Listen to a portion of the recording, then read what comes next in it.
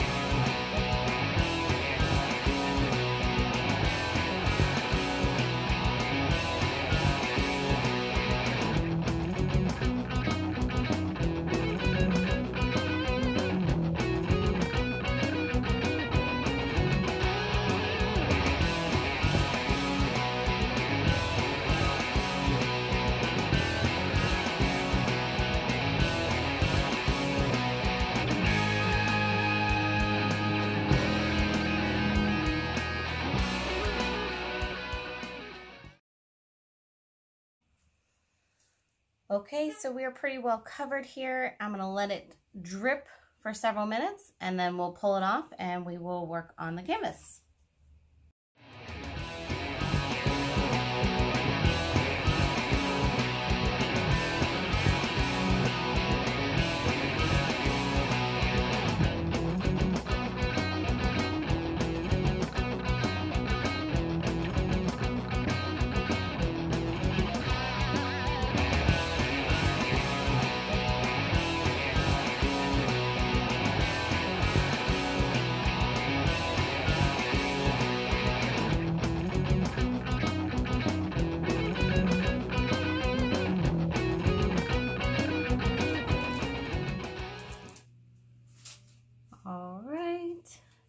Base is more or less done. Let's pull it off here, set it to the side, and see what we've got with our canvas. I do have some extra paint here, so I'm just going to add a little bit around. Make sure we get some full coverage here. And besides, this is the glow in the dark in the green here. So, might as well use it. All right. Here we go.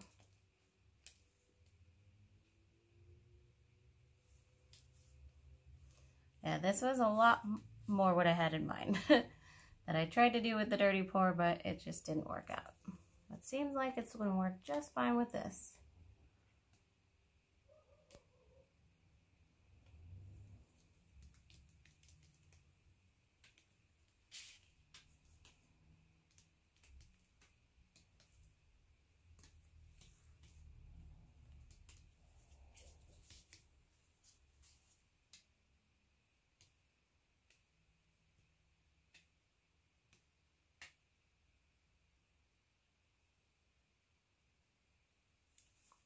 There we go.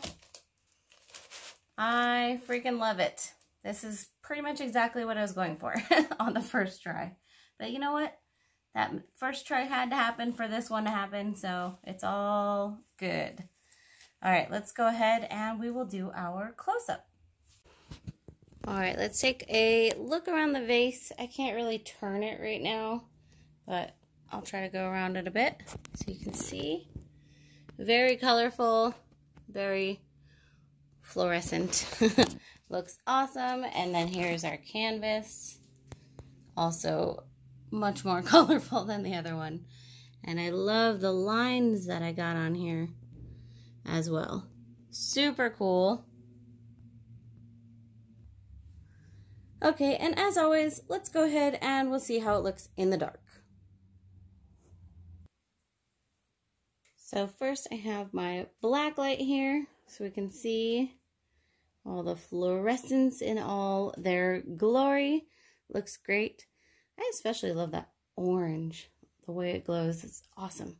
All right, and then we'll turn this off and we will see how it looks in the dark, dark. Ooh.